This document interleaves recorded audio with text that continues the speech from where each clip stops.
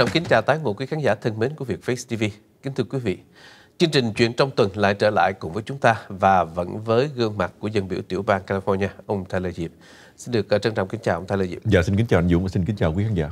Vâng, uh, thưa ông, chắc chắn là chúng ta đã theo dõi thời sự và trong những ngày này, uh, chúng ta đã biết rằng Hoa Kỳ trong ngày thứ Sáu vừa qua đã chính thức giành lấy cái vị trí số 1 trong số các quốc gia có trường hợp nhiễm COVID-19 cao nhất đã vượt qua cả Trung Quốc và cả Ý cũng như là Tây Ban Nha. Và trong cái bối cảnh mà dịch bệnh đang hoành hành như vậy thì cũng cùng ngày thứ Sáu Quốc hội Hoa Kỳ cũng đã thông qua cái gói cứu trợ 2.000 tỷ Mỹ Kim. À, như vậy thì thưa ông, à, trong những cái phút giây này đó, thì chúng ta thấy cái vấn đề coronavirus có vẻ như đã chi phối tất cả các hoạt động chính trị và các hoạt động khác tại à, Hoa Kỳ. À, dưới con mắt nhìn của ông thì đối với ông cái việc mà Hoa Kỳ chiếm lãnh vị trí số 1 như thế này, chúng ta nên nhận định như thế nào? À, thưa anh, à, cái việc mà nước Mỹ hiện nay đang đứng đầu với à, những ca nhiễm bệnh COVID-19 đó, à, một phần do à, chính quyền Hoa Kỳ không đủ cứng rắn à, trong việc à, à, thi hành à, các lệnh phong tỏa hay là cách ly. À, kể từ chính phủ liên bang cho đến xuống các chính phủ à, tiểu bang, à, không có một cái biện pháp mà gọi là à, rõ ràng Ờ, trên uh, tòa bạch ốc thì khi mà tổng thống Donald Trump kêu gọi uh, có những cái việc mà cách ly hay phong tỏa 6 feet uh, hay là gọi là social distancing đó thì đây tức nói cùng uh, cũng chỉ là những lời khuyên thôi thưa anh và uh, luật pháp hay các nhân viên công lực tới giờ phút này vẫn chưa có uh, đưa ra những cái biện pháp uh, cứng rắn uh, để mà bắt buộc là người dân phải ở nhà. Uh, chúng ta thấy rằng là uh, có thể là uh, Trung Quốc một đất nước mà độc tài. Cho nên cái việc mà gọi là ép người dân phải ở trong nhà và không được ra ngoài đường đó uh, thì có thể là nghe thì nó nó hơi phản ánh về cái vấn đề mà độc tài, uh, độc tài uh, vi phạm đến vấn đề nhân quyền. Uh, nhưng mà có lẽ vì vậy uh, cái vấn đề mà mà uh, lây lan cái dịch bệnh Covid-19 nó đã được kiểm soát một cách uh, nhanh chóng hơn là nước Mỹ. Và À, khi mà trong vài ngày gần đây mà nước Mỹ mà vượt qua uh, mặt cái Trung Quốc hay Ý đó thì chúng tôi nghĩ rằng là những trường hợp xấu nhất vẫn còn đang ở phía trước uh, dạ. của nước Mỹ uh, và trong những tuần lễ tới đây uh, chúng tôi không nghĩ rằng là cái tình hình này nó sẽ uh, khá hơn là tại vì tới giờ phút này uh, có rất nhiều người trong trong Hoa Kỳ vẫn có một cái thái độ uh, rằng là họ xem thường cái dịch bệnh uh, COVID-19 và họ vẫn uh, cố tình đi ra ngoài và xem như cái chuyện này là cái chuyện mà uh, có thể bị ảnh hưởng tới người khác nhưng mà họ um, thần đồng gia sắc uh, như thế nào đó ừ. họ, họ vẫn không có tuân theo những cái quy định rằng là nên ở nhà và không cần thiết thì không ra ngoài đường uh, trong trường hợp một số ngoại lệ thôi thưa anh. Ừ. Như vậy là mình cũng thấy rõ ràng là trong tuần trước chẳng hạn ở tại một số bờ biển ở tại Miami, ở tại Florida Ờ, các cư dân ở đó cũng vẫn ra ngoài như thường. Đừng nói đâu xa, ngay tại quận cao của chúng ta vâng. trong cuối tuần vừa rồi đó thì ở tại bãi biển Huntington Beach cảnh sát cũng đã phải ra để can thiệp. Tuy là California đang nằm dưới cái lệnh hạn chế đi lại uh, và ra ngoài, đúng không ạ? Thế nhưng cư dân vẫn đổ ra. Đây tức là muốn nói về cái ý thức mỗi một cá nhân ở trong cộng đồng phải không ạ? Dạ vâng. Uh-huh. Và và cái ý, cái, cái ý thức đây rằng là um, chính quyền của tiểu bang California hay là kể cả New York đi chỉ có khuyên là người dân nên ở nhà và các cơ sở thương mại nên uh, đóng cửa nếu mà không uh, nằm trong cái danh sách là những uh, ngành nghề uh, thiết yếu uh, cần phải được uh, tiếp tục hoạt động. Thì uh, những cái lời khuyên này hay là những cái gọi là những cái luật lệ này đó nó nó, nó tới giờ này nó vẫn không có mang theo cái tính cách uh, ràng buộc của pháp luật. Có nghĩa rằng là cái việc tự cách ly ở nhà hay là tự phong tỏa đó uh, chúng ta vẫn chưa thấy là cảnh sát tuần tra ở ngoài đường và giết giấy phạm uh-huh. hay là bỏ tù những người không tuân theo cái lệnh này uh-huh. và vì lý do đó cho nên chúng ta vẫn thấy rằng là cái dịch bệnh uh, COVID-19 tại Orange County tại California tại New York uh, vẫn uh, bùng bùng phát ra và chưa có cái đà là là uh, uh, uh, coi như là là được uh, kiểm soát một cách Ờ, đúng mức theo vấn đề y tế uh-huh. tại vì người ta vẫn đi ra ngoài đường và vẫn xem thường cái dịch bệnh này. Vào ngày thứ sáu thì cũng có cái tin tức là ông thị trưởng của thành phố Los Angeles, ông Garati đó, ông cũng đã đưa ra cái lời kêu gọi. Và ông nói rõ ràng rằng là có thể New York sẽ trở thành một cái ý thứ hai và nếu như không có những cái biện pháp cụ thể và chẳng hạn là California sẽ trở thành New York chỉ trong một thời gian ngắn nữa thôi nếu người ta không áp dụng đúng cái cái cái việc mà hạn chế đi lại và hạn chế giao tiếp với tất cả mọi người xung quanh mình đây cũng là một trong những cái điều mà chính quyền đang lên tiếng kêu gọi một cách chặt chẽ tất nhiên là nãy giờ chúng ta trình bày là đã nói tên tức là cái sự tự nguyện của người dân của từng mỗi một cá nhân nó chưa có đủ yêu cầu để có thể giảm dạ chế vâng. bớt dịch bệnh Ờ, uh, Tyler xin ngắt lời của anh. Vì chúng ta nói nói là thành phố New York đi, uh-huh. như là cái ví dụ là anh vừa đem lên đó. Trong trường hợp của Trung Quốc khi mà thành phố Vũ Hán uh, có một cái dịch bệnh như vậy, uh-huh thì chính quyền uh, trung ương đã hoàn toàn gọi là phong tỏa thành phố này, cách ly thành phố này là người ở ngoài không vô được ừ. và người ở trong cũng không ra được nữa. Nội bất xuất ngoại bất nhập. Dạ vâng. Đối với thành phố New York thì chính quyền liên bang cũng chỉ có lời khuyên rằng là nếu mà quý vị từ thành phố New York mà đi ra ngoài thì nên tự cách ly trong vòng 14 ngày. Cái đó cũng chỉ là cái lời khuyên thôi. Đáng ra lẽ ra là những người nào ở trong New York nếu mà có những cái cái biện pháp mà mà cứng rắn đó thì đáng lẽ ra là những người đang ở trong New York hiện nay không nên được đi ra ngoài uh-huh. chứ đừng nói chi rằng là là chỉ có tức là có cái hình thức áp đặt hơn dạ. là sự kêu gọi tự nguyện có đúng dạ. không ạ uh-huh. thành ra là tất cả mọi người chúng ta tôi nghĩ rằng trong thời gian này cũng phải tự nhận thức được cái trách nhiệm của mỗi một cá nhân là vì nếu chúng ta không muốn cho những người thân ở chung quanh mình gần nhất là vợ con con cháu ở trong gia đình thì tự mỗi người bằng mỗi bản thân chúng ta phải giữ vững cái tiêu chuẩn cách ly cho nó thật đúng phải không ạ để có hạn chế là vì rõ ràng chúng ta ở tại California trong thời gian vừa qua đó cũng khoảng một bảy ngày tới một 10 ngày rồi mà cái con số nhiễm bệnh mới nó vẫn tiếp tục gia tăng dù là California đã áp dụng cái luật hạn chế đi lại cách đây 7 tới tới 10 ngày.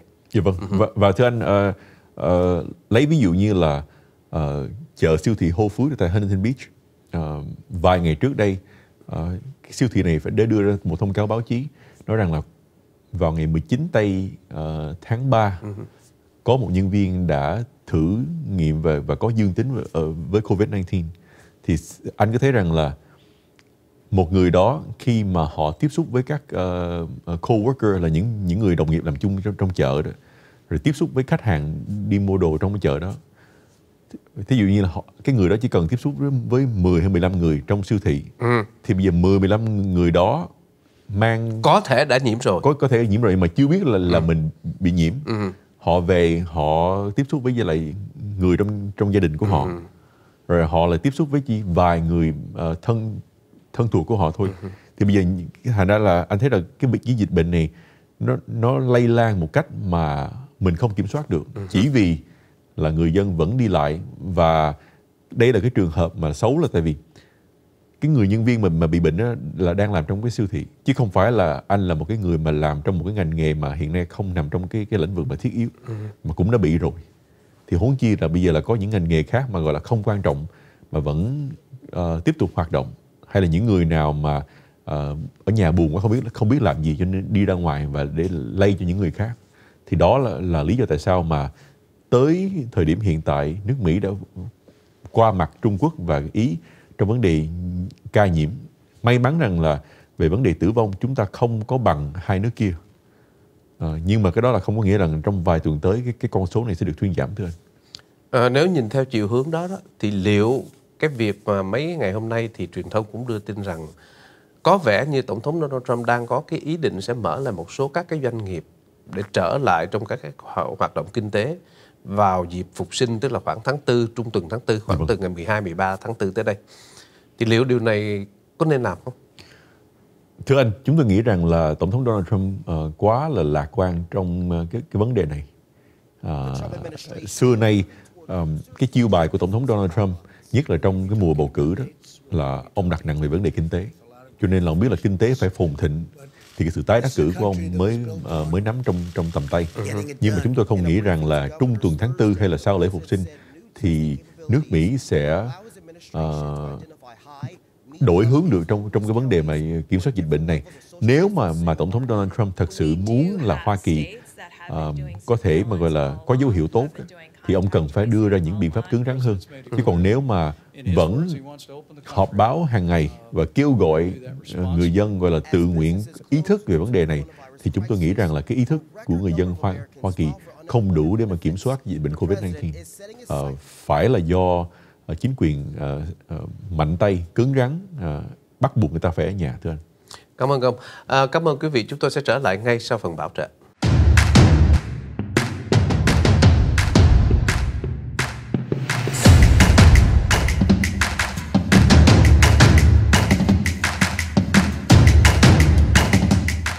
Cảm ơn quý khán giả vẫn tiếp tục theo dõi chương trình Chuyện trong tuần cùng với dân biểu tiểu bang California, ông Taylor Diệp. À, trở lại với đề tài mà chúng ta đang bàn luận thưa ông, như vào thứ sáu vừa rồi đó, thì à, chúng ta cũng biết rằng à, Quốc hội của liên bang đã thông qua cái việc chuẩn chi gói cứu trợ 2 tỷ 2.200 tỷ Mỹ Kim à, đến cho tất cả người dân Hoa Kỳ và các lĩnh vực uh, kinh tế. Uh, theo ông thì cái cái để mà phân tích ra đó những cái con số liên quan đến những cái lĩnh vực nào sẽ được nhận cái khoản tiền này nó gồm những cái lĩnh vực nào? Dạ thưa anh, uh, trước nhất là có lẽ là mình nói đến vấn đề mà 250 tỷ Mỹ Kim uh, dành cho người đi làm. Dạ vâng. Uh, là uh, họ có thể nhận uh, vào giữa tháng tư cuối hay là cái trong cuối tháng tư họ có thể nhận được uh, lên đến 1.200 đồng cho một người và uh, cái con số cái con số tiền nó nó sẽ giảm dần uh, khi mà cái người đó uh, có cái income mà cao hơn 75.000 Mỹ Kim. Uh, làm hơn 75.000 Mỹ Kim thì cái, cái số tiền nó nó sẽ giảm một chút xíu. Uh-huh. và khi mà làm tới 99.000 Mỹ Kim cho một năm đó thì sẽ không được nhận uh, cái khoản số tiền này nữa. Uh, một điều mà chúng tôi uh, rất là vui là thấy được trong cái cái gói cứu trợ này uh, sẽ là sẽ cho những người nào mà uh, đang làm hay là đã làm uh, việc mà bị mất cái income trong thời gian gần đây dù cho họ ra là cái dạng là independent contractor là người mà lãnh lãnh uh, tiền theo dạng 1099 đó uh, vẫn có thể xin được tiền thất nghiệp uh, từ cơ quan uh, uh, có nghĩa là unemployment insurance oh. uh, từ cơ quan um, uh, của uh, từng tiểu bang uh-huh. và đây là uh, một cái mà để, để giúp cho rất nhiều người mà xưa nay làm việc hành nghề tự do uh, có thể xin được tiền thất nghiệp uh, dĩ nhiên là khi mà trong chương trình này chúng ta uh, xem là có khán giả của 50 tiểu bang thì chúng tôi vẫn khuyên rằng là uh, quý khán giả uh, liên lạc với các uh, cơ quan trợ cấp thất nghiệp của từng tiểu bang của họ uh-huh. uh, tuần tới uh, để mà xem coi là uh, mình có phù hợp uh, với những cái cái phúc lợi này uh-huh. hay không. Uh, cái đó là cái 250 tỷ Mỹ Kim dành cho người đi làm. Uh-huh. Uh, 5 500 tỷ Mỹ Kim sẽ đi vô trong uh, để mà uh, cứu trợ những ngành nghề thiết yếu mà bị ảnh hưởng uh, trong uh, trong vấn đề này bao gồm uh, nhà thương, uh, bao gồm các uh, hãng hàng không uh, thưa anh để mà giúp cho những ngành nghề này uh, có cái cơ hội để mà duy trì tiếp. Hệ thống uh, khách sạn mà uh, du lịch. Uh, hệ, uh, chúng ta không thấy có có hệ thống uh, khách sạn chỉ có uh, máy bay có uh-huh. uh, các dịch vụ uh, y tế có dạ vâng. uh, dầu dầu hỏa thì không uh, uh, những dịch vụ mà uh, cruise line là uh, về về vấn đề mà gọi là các uh, công ty du lịch du thuyền, thuyền đó. thì cũng không có được uh, cái, cái, cái cái phần trợ cấp trong vấn đề này. Uh, ngoài ra thì uh, 250 uh, 350 tỷ Mỹ Kim sẽ đi vô trong cái chương trình uh, giúp cho các giới doanh nghiệp uh, vay nợ qua chương trình SBA dạ vâng. thì cũng tuần tới cũng tương tự như vậy uh, quý khán giả nào mà có những doanh nghiệp nhỏ có thể tìm uh, tìm những thông tin uh, qua các cơ quan SBA để mà xem coi là mình vay được bao nhiêu uh, tại vì trong cái phần đấy nó nó chia làm hai phần một cái là tiền tiền grant có nghĩa rằng là nếu mà quý vị duy trì cái payroll của mình là cái số nhân viên đang làm hiện tại uh-huh. thì cái tiền từ SBA có thể là cho không và không cần phải trả lại. Oh. Nếu mà mình duy trì cái, cái số lượng nhân viên mình đi làm, còn nếu mà mình không duy trì nổi mình chỉ cần uh, vay nợ với cái phân lãi thấp đó ừ. thì nó cũng có để cho chúng ta vượt qua được uh, những cái tháng khó khăn uh, tới đây uh, và uh, một phần nữa rằng uh, 250 tỷ Mỹ Kim nữa sẽ đi vô trong cái chương trình uh, giúp cho các tiểu bang có cái tiền uh, uh, lương thất nghiệp thưa anh uh-huh. và uh, tính tới tính lui ra được tới 2.000 tỷ uh, để cung cấp cho những dịch vụ này. Uh, một số tiền nhỏ cũng sẽ đi vào trong các tiểu bang để giúp cho họ um, có những cái, cái có thể mua được những cái thiết bị y tế cần thiết. Cái số tiền mà 150 ngàn, à, 150 tỷ Mỹ Kim để cung cấp cho chia đều cho các tiểu bang đó. Dạ, vâng. Tức là tùy theo cái cái cái dân số của mỗi tiểu bang dạ, mà sẽ nhiều ít khác nhau. Yes. California hình như là nhận được 10 tỷ Mỹ Kim. Uh, chúng chúng ta phải xem lại là cái con số của Ừ từng tiểu bang là bao nhiêu. Nhưng mà thật sự là cái cái số tiền đó vẫn là không đủ thưa Ừ anh à, chính quyền tiểu bang thì nhất là ở bên New York vẫn than phiền rằng là à, vài tỷ mỹ kim từ chính quyền liên bang hiện hiện nay giống như là muối bỏ biển. À, tại vì cái cái nhu cầu mà gọi là à, thiếu hụt của họ quá nặng.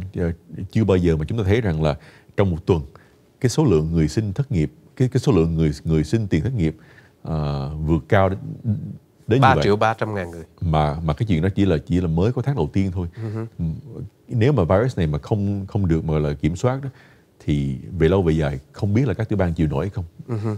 Như vậy thì tất cả các tiểu bang vẫn phải nỗ lực từ mỗi cái tiểu bang Dạ vâng. trước khi nhận được cái số tiền của từ liên bang hỗ trợ phải không ạ? Dạ vâng. Tuy nhiên ít ra thì trong lúc này một số các cái tiểu bang mà ngày thứ sáu thì tổng thống đã đưa vào thêm cái danh sách tuyên bố khẩn tình trạng khẩn cấp cho các tiểu bang nó tăng lên thêm một vài tiểu bang nữa. Dạ vâng. Ừm, đây là những cái điều mà các tiểu bang họ đang cần thiết để phải làm trong lúc này. Như vậy thì tính tính đến giờ phút này đó là tất cả mọi việc mà theo ông đó thì từng mỗi một người cái mỗi mỗi một cá nhân đó, chúng ta nên làm điều gì? Là tự cách ly chính mình. từ cách ly- từ cách ly ờ, chính mình và nếu mà không cần thiết thì không đi ra ngoài đường Dạ vâng. Ờ, chỉ có cái biện pháp đó mới có thể ờ, làm chậm lại hay là ngăn ngừa lại cái dịch bệnh ờ, virus này. Và để cố gắng ờ, mua thêm thời gian cho chính quyền liên bang ờ, trong thời gian mà chúng ta đang đợi là ờ, chính quyền liên bang ờ, coi như là phát minh ra được một cái vaccine. Và trước khi mà có cái vaccine đó thì nên ở nhà. Còn nếu không thì ờ, chúng ta không đủ ờ, giường bệnh chúng ta không đủ ờ, bệnh viện và cũng như là bác sĩ và y tá để mà duy trì ờ, cái con số này nếu, nếu mà dịch bệnh này càng ngày nó càng bùng phát để chúng ta may mắn rằng là ngay tại Orange County nó, ờ, chúng ta cái, cái tình hình hiện nay nó không tệ hại như là tại thành phố New York nhưng mà nếu mà người dân không tuân theo cái lệnh mà cách ly đó thì sớm muộn gì chúng ta cũng như là, là thành phố New York Ừ, sẽ tiến tới cái mức đó. Dạ. Ờ, thành ra nói cho đúng là cho dù chúng ta nhận được những cái tiền hỗ trợ từ chính phủ, mỗi người mỗi gia đình sẽ có được thêm vài ngàn. Nhưng dĩ nhiên rồi không nên lấy đó làm vui mừng vì những mấy ngàn đó không thể trị được coronavirus phải không ạ? Mà phải tự bản thân của mỗi người phải tự cách ly và tự giữ đúng theo những cái quy định y tế để chúng ta có thể tránh cái tình trạng bệnh dịch lây lan một cách nhanh chóng. Tại vì anh có thấy rằng là bây giờ cho rằng là một cặp vợ chồng tổng cộng nhận được là 2.400 đi. Dạ. 2.400 cho tháng 4. Nhưng mà rồi tháng 5, tháng 6, tháng 7 thì làm sao? Nếu mà dịch bệnh này không phiên giảm và cái nền kinh tế của của Hoa Kỳ không ờ, trở lại bình thường đó thì chưa chắc là tháng 5, tháng 6, tháng 7 ờ, chúng ta sẽ có tiền ờ, trợ cấp từ liên bang nữa. Và chưa nói đến cái việc rằng là tiền nhà của, của chúng ta ờ, dù là mình mướn nhà, mình thuê nhà để ở hay là mình đang trả góp cho cho cái tiền mortgage cho ngân hàng thì bây giờ là những những cái cái cái, cái tiền đó đó mình có thể chỉ trì hoãn thôi chứ không ai cho mình coi như là miễn phí Dạ vâng. trong trong những tháng này cả cho nên là nếu mà chúng ta không có đi làm lại bình thường nền kinh tế không trở lại bình thường thì chính quyền liên bang cũng không đủ tiền để mà tiếp tục bơm vô mỗi tháng mà cho chúng ta như, như vậy Ờ, một câu hỏi chó trước khi chúng ta kết thúc chương trình ngày hôm nay đó là cái hạn định để mà chấm dứt cái tình trạng hạn chế đi lại sẽ được kết thúc vào cuối tháng 3 tức là ngày 31 tháng 3. Theo ông thì liệu văn phòng thống đốc sẽ có gia hạn thêm cái thời hạn hạn chế đi lại này hay không hay là sẽ chấm dứt vào ngày 31 tháng 3? chúng tôi nghĩ rằng là ờ, cái cái cái lệnh mà gọi là cách ly hay phong tỏa đó sẽ được ờ, kéo dài ra. Đó, ờ, ngay kể cả quốc hội của tiểu bang California ờ, trên trên lịch trình thì là quy định rằng là 13 tháng 4 sẽ quay lại để mà nhóm họp. Dạ Có vâng. nghĩa là sau sau lễ phục sinh đó.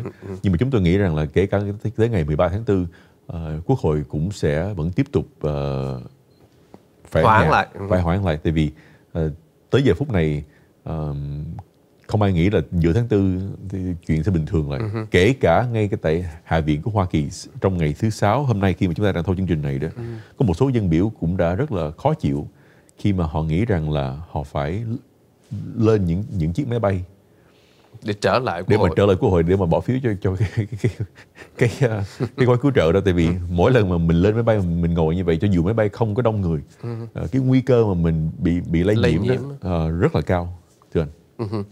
Cảm ơn ông rất nhiều với những cái ý kiến của ông ờ, trong ngày hôm nay và hy vọng rằng sẽ ông sẽ giữ gìn được sức khỏe trong những ngày tháng sắp tới và tiếp tục có những cái buổi để chúng tôi xin phép được ừ, có những cái buổi phỏng vấn với ông thì, thì Dạ vâng. tiếp theo. Xin cảm ơn Dũng rất nhiều và xin cảm ơn quý khán giả. Cảm ơn quý khán giả đã theo dõi chương trình ngày hôm nay và xin hẹn gặp lại quý vị trong chương trình này kỳ tới.